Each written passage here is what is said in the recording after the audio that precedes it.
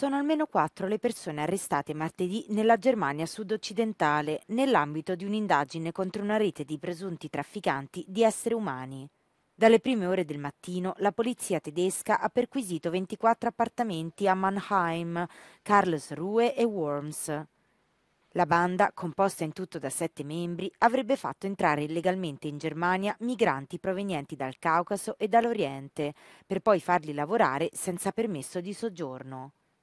Un totale di 400 agenti sono stati impiegati nell'operazione, che ha coinvolto la Polizia federale, l'Ufficio del Pubblico Ministero e quello delle dogane.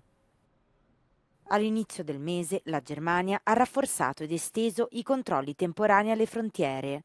L'obiettivo delle nuove misure restrittive è quello di contrastare proprio l'immigrazione irregolare, riducendo il numero di persone che entrano nel paese senza visto.